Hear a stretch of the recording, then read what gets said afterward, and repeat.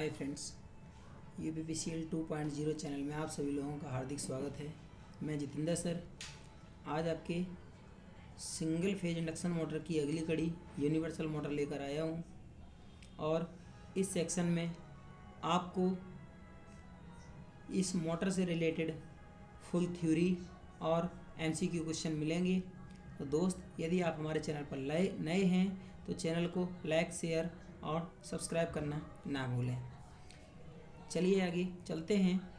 वे motor जो प्रत्यावर्ती व दिष्ट धारा दोनों सप्लाई पर समान गति से कार्य कर सकें, यूनिवर्सल मोटर कहलाती हैं। याद रखना, कौन सी? प्रत्यावर्ती और दृष्ट धारा, एसी और डीसी सप्लाई। दोनों पर एक समान रूप से यदि कार्य करती हैं तो यूनिवर्सल मोटर कहलाती हैं। सिद्धांत। यूनिवर्सल मोटर, डीसी श्रेणी मोटर के सिद्धांत पर कार्य करती हैं और ये यूनिवर्सल जो मोटर होते हैं, इनको एसी एसी श्रेणी मोटर भी कभी कभी कहा जाता है। ठीक है ना? एसी श्रेणी मोटर भी कभी कभी इनको कह दिया जाता है। यह मोटर जो है, वो फेराडे के इलेक्ट्रोमैग्नेटिक इंडक्शन विद्युत चुंबकीय प्रेरण के सिद्धांत पर कार्य करती हैं। स्टार्टिंग बलगोड़, प्रारंभिक बलगोड़ जो है इनका उच्च होता है, जिस कारण ये मशीनें भार पर भी प्रारंभ हो जाते हैं। यूनिवर्सल मोटर की जो दक्षता होती है, ये 30 से 35 प्रतिशत होती है, जबकि यूनिवर्सल मोटरों की जो स्पीड होती है, ये 5000 से 60000 आरपीएम, ठीक है ना? 60000 आरपीएम रिवोल्यूशन पर मिनट तक हो सकती है। घूर्णन की दिशा। डी और डायरेक्शन ऑफ़ रोटेशन घूर्णन की दिशा का परिवर्तन।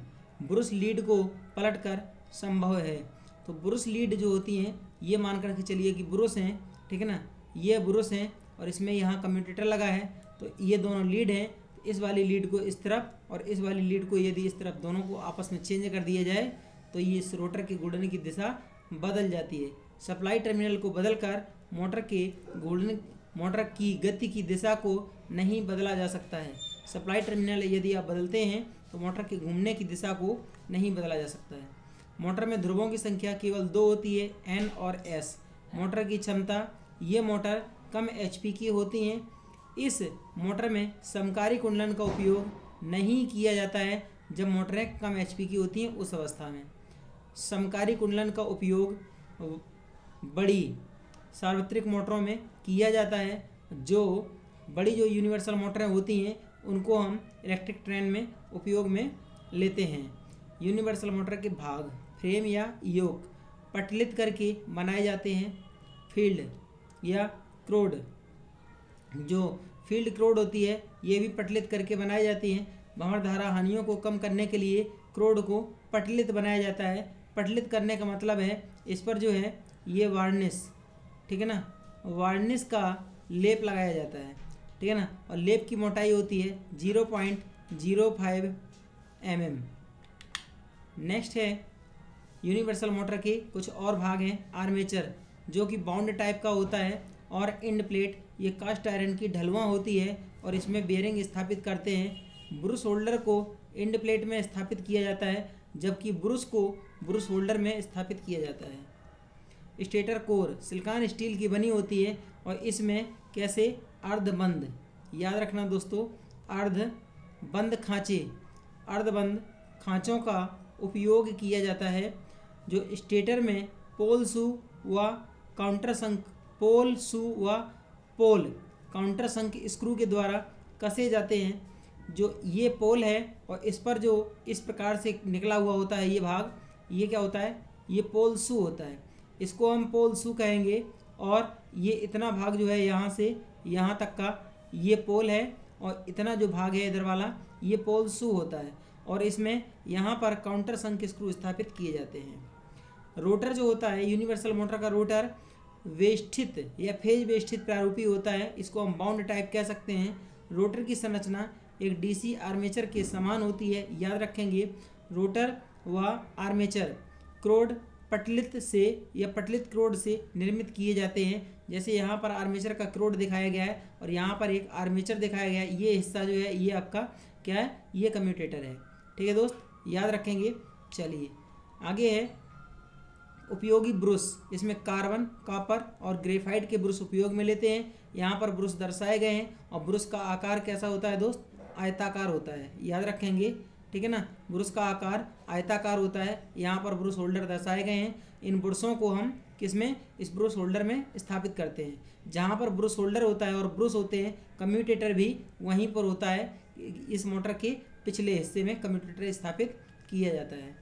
कम्यूटेटर जो है, इसको हम दिक परिवर्तक कहते हैं। यह कठोर कर्षित ताम्र का बना होता है। यहाँ कम्यूटेटर दर्शाया गया है, ठीक है ना? बना होता है। प्रत्येक segment zero point five M का, ये जो पत्तियाँ दिखाई दे रही हैं, ये ज़ीरो पॉइंट फाइव एम की कठोर कर्षित ताम्र से बनी हुई हैं और सेंड प्रत्येक जो सेगमेंट होता है, उसका आकार कैसा होता है? वी टाइप का होता है, ठीक है ना? कम्यूटेटर। प्रत्येक सेगमेंट के बीच अब्रक, विद्युत रोधी अब्रक को हम जनरली माइका भी कहते हैं, ठीक है ना?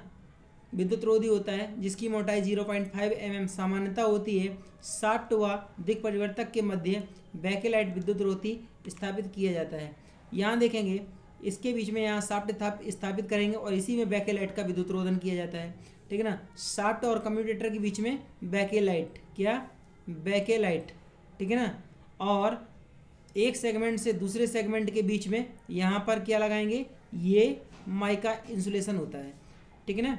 और ये जो उठा हुआ भाग देख रहे हैं, इसको हम क्या कहते हैं? इसको राइजर के नाम से जाना जाता है। ठीक है ना? ये होता है राइजर चलिए दोस्तों, आगे चलते हैं। दिक परिवर्तक या कम्यूटेटर रोटर की पटलित क्रोड के आगे होता है, जिस पर आर्मेचर कुंडलन की लीड्स जुड़ी होती है। लीड्स दिक परिवर्तक के राइजर से जुड़ी होती है। ये जो उठा हुआ भाग है, यहाँ जो एक्स दर्शाया गया है, यही है दोस्तों आपका राइजर ठीक है ना? राइजर चलिए आगे। जो स्टार्ट होती है, ये सभी मोटर और जनरेटर में नर्म इस्पात की ही बनी हुई होती है। जबकि जो बियरिंग होते हैं, ये बुश प्रारूपी बियरिंग फास्फर ब्रांच के होते हैं और इसमें कभी कभी बॉल बियरिंग का उपयोग करते हैं। ठीक है ना? बॉल बियरिंग भी इसमें उपयोग में लाए जाते हैं। ये बॉल बियरिंग है, ये रोलर बियरिंग है, बहुत बड़ी मशीनों में उपयोग में लाए जाते हैं। यहाँ पर बुश दिखाया गया है।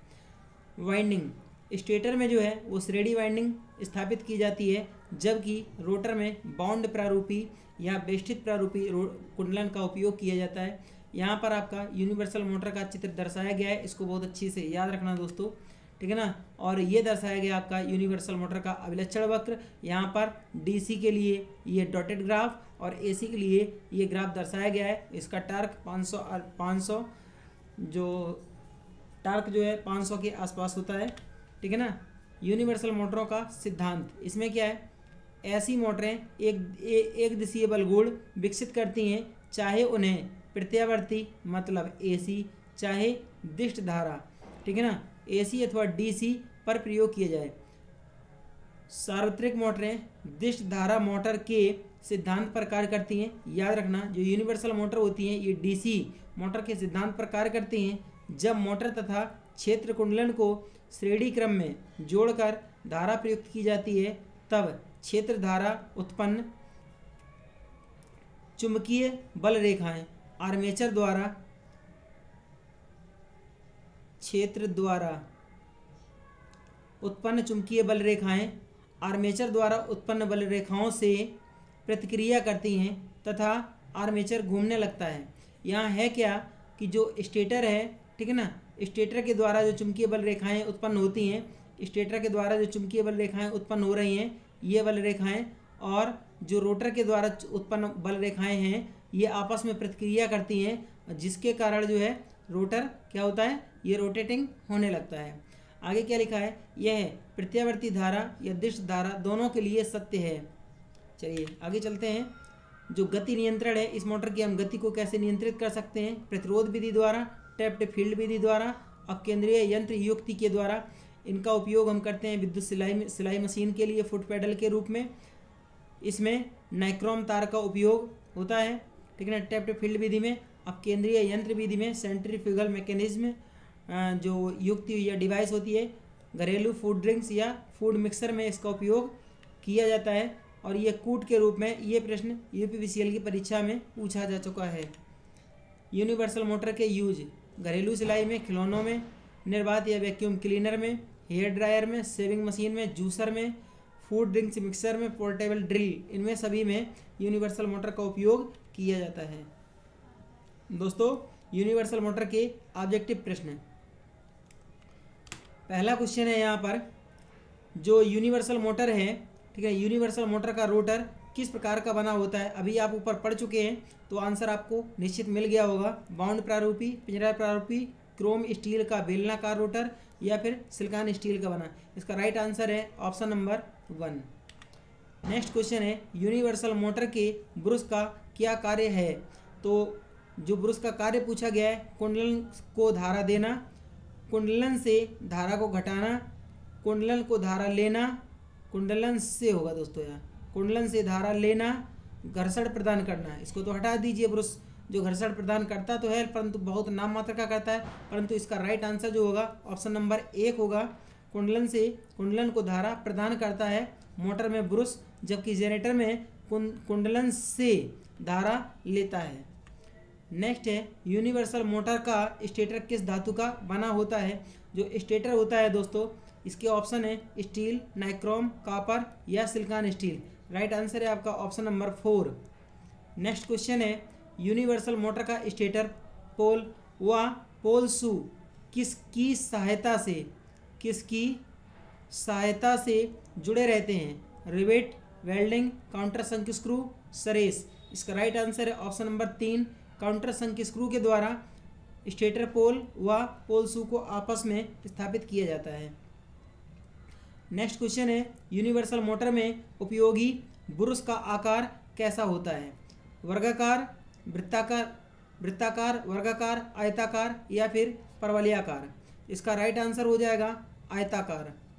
नेक्स्ट क्वेश्चन है यूनिवर्सल मोटर की दक्षता लगभग कितनी होती है? पचपन से पैंसठ प्रतिशत, पैंतालीस से पचपन प्रतिशत, पच्चीस से पैंतीस प्रतिशत या फिर पाँच से पैंतीस प्रतिशत। तो दोस्तों पेपर में लगभग तीस परसेंट मारा गया था तो इसके आधार पर आपका ऑप्शन नंबर तीन राइट हो जाएगा।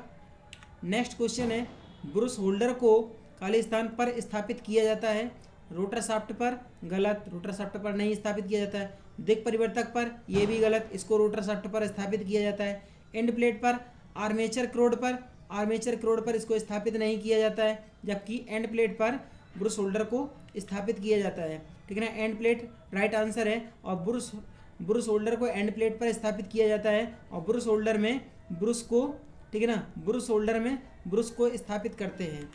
नेक्स्ट क्वेश्चन है, यूनिवर्सल मोटर के घूर्णन की दिशा को निम्न में से किस प्रकार बदला जा सकता है? ब्रुश लीड बदलकर घूर्णन की दिशा को बदलना संभव नहीं है। मुख्य सप्लाई के टर्मिनल परस्पर बदलकर इनमें से कोई नहीं। इसका राइट आंसर हो जाएगा, ऊपर अभी मैंने बताया था ब्रुश लीड को परस्पर बदला जाए तो मोटर के घूर्णन की दिशा या डीओआर चेंज हो जाते हैं। दोस्तों, कैसा लगा हमारा वीडियो? अगर वीडियो अच्छा लगा हो तो वीडियो को लाइक, शेयर, सब्सक्राइब करना ना भूलें। Thank you thank you for watching और नेक्स्ट टॉपिक जो है, आपके लिए रहेगा। नेक्स्ट टॉपिक आप लोगों को मिलेगा हिस्टेरिसिस मोटर का। किसका? Hysteresis hysteresis motor. Next topic है हिस्टेरिसिस मोटर का। ठीक है दोस्तों?